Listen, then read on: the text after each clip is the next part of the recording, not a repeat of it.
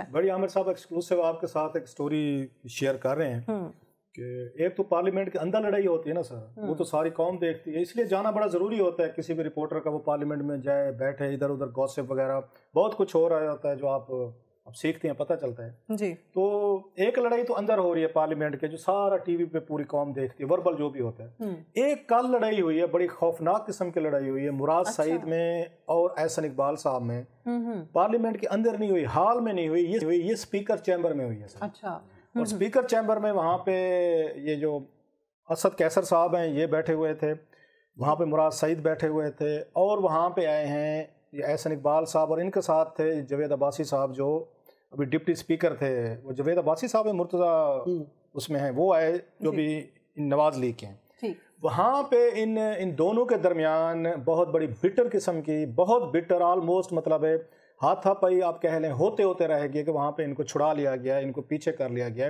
اور احسن اقبال صاحب نے آتے ہی مراد سعید پہ انہوں نے ایک وربل انہوں نے آ کے اٹیک کیا زبانی اچھا آغاز انہوں نے کیا انہوں نے سٹارٹ انہوں نے کیا مراد سعید نے نہیں کیا وجہ اس کی یہ تھی کہ مراد سعید نے کل پارلیمنٹ میں آپ کو یاد ہے بڑی کل انہوں نے بڑی دھواں دھار قسم کی تقریر کی تھی جس میں جہاں پہ انہوں نے بلاول کو پیپلز پارٹی کو دیگر انہوں لوگوں کو وہاں پہ انہوں رگڑا دیا تو انہوں نے انہوں نے ریفرنسز کے ساتھ انہوں نے ساتھ میں احسن اقبال کا بھی انہوں نے وہاں پہ کہا کہ جناب کہ ان کے بھی گھبرانے کا وقت ہوا چاہتا ہے کیونکہ اور اس کے ریفر کر رہے تھے ملتان سکھر موٹر وے جو ہے اس میں ان کے مطابق یہ جو ان کے پاس فائلیں ہیں وہ جو دعویٰ کار ہیں مراد سعید کہ ففٹی بلین روپیز کی ریگولیرٹیز جو ہیں انہوں نے ڈیٹیکٹ کی ہیں۔ اور وہ ریگولیرٹیز کیا ہیں؟ کہ یہ جو پروجیکٹ تھا اس پروجیکٹ کو دوبارہ ریوائز کر کے آلریڈی جو اماؤنٹ اس کی طے کی گئی تھی اس کو دوبارہ اس کو بنا کے اس پہ ففٹی بلین روپیز کا اضافہ کیا گیا ہے۔ اس پہ مراد سعید نے ان کو ان کو وہ کیا ہے اس پہ پکڑا ہوا ہے کہ یہ ہمیں بتائیں کہ جب پی سی ون بن چکا تھا اور ابھی اس کے بعد آپ نے ففٹی بلین روپیز جو ہے اس کو کیسے آپ نے ریز کیا؟ کیا اس کا ایشو تھا؟ اور اس کے پاس ان کے اپنے جواز ہیں مراد سعید کے پاس یہ کہنے کے لیے کہ جناب کہ اس میں میسو قسم کی کرپشن ہوئی ہے۔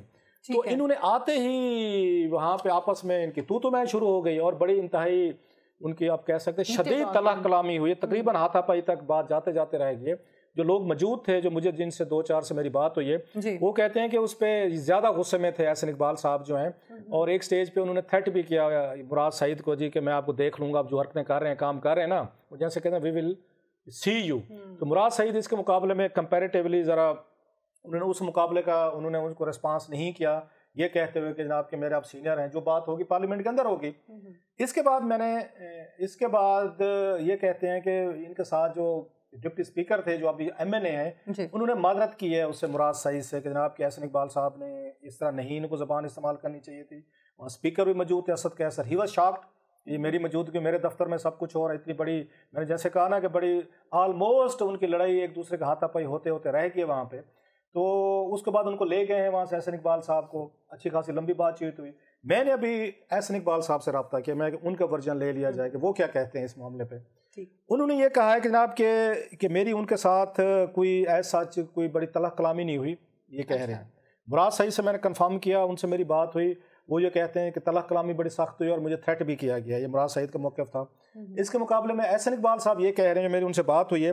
وہ یہ کہتے ہیں کہ جناب کہ میں نے وہاں پہ کوئی تھریٹ نہیں کیا میرا مزاج جانتے ہیں میں تھریٹ کرنے والا بندہ نہیں ہوں۔ میں نے یہ ضرور کہا تھا کہ اس کو مراد سعید کو کہ آپ کو سینئرز کا احترام کرنا چاہیے۔ اور آپ نے جو میرے اوپر بے بنیاد الزامات میرے اوپر لگائے ہیں آپ ایکنک کی سمری دیکھیں جس میں دوبارہ ہم نے ریوائز کر کے ایکنک سے وہاں سے انہوں نے وہ کہتے ہیں ہم نے آ کے اس میں اپروول لی تھی اور ایکنک میں یہاں کے پی کے کا پختونخوا کا بھی نمائندہ ہوتا ہے۔ اگر میں غلط کر رہا تھا تو ان کے کہنے کا مطلب ہے کہ وہ وہاں پہ ایشو کو ریز کرتا۔ پلس احسن اقبال یہ کہتے ہیں کہ مراد سعید کی وزارت نے اب تک نائب کو شکایت جو ہے وہ بھیجی کیوں نہیں اگر اس میں ان کو بہت سارے زیادہ گراؤنڈ وہاں پہ ملے ہوئے ہیں۔ اور پلس وہ یہ کہہ رہے ہیں حسن اقبال صاحب کہ مجھے اور سپاہی کو بدنام کرنے کے لیے مراد سعید جو ہے نا میڈیا کا سہارا لے رہے ہیں۔ اور انہوں نے یہ کہا کہ Multan Sukkur highway project کی بولی میں یہ چین کی تین کمپنیاں جو شامل تھیں اور سب سے کم بولی لگانے والے کو پروجیکٹ ان کو ملا تھا۔ اور مراد سعید کو چاہیے کہ وزیر اعظم عمران خان کو اپنے ساتھ لے کر چائنا جائیں اور ان سے پوچھیں کہ انہوں نے اپنی کمپنی کو کیوں نامزد کیا تھا۔ اس میں سارا کچھ انہوں نے بتایا ہے آیا ہے۔ جی۔ اور اس کا انہوں نے کہا ہے کہ میں نے مطلب ہیٹڈ آرگومنٹ ہوا ہے لیکن وہ کہتے ہیں اتنی کچھ زیادہ تلخی میری ان کے ساتھ نہیں ہوئی لیکن مراد سعید کہتے ہیں کہ نہیں بہت سارا مجھے انہوں نے تھریٹ بھی کیا اور زیادہ میرے اوپر انہوں نے شاؤٹ بھی کیا اور مجھ سے بعد میں انہوں نے معافی بھی مانگی ہے وہ جو ان کے ان کے ایم این اے ہیں جو جن کا بتایا